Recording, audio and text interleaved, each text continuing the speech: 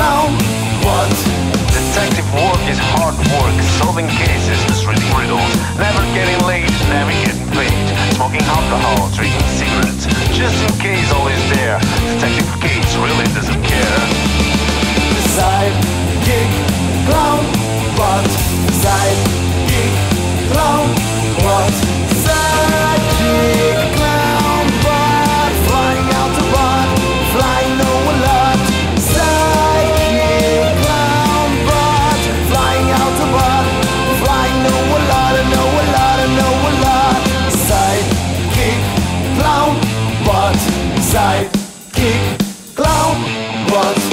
such a clown knows everything, keeps everything, cracks jokes in broad strokes, grabbing clues from behind the toilet, making no money and getting exploited.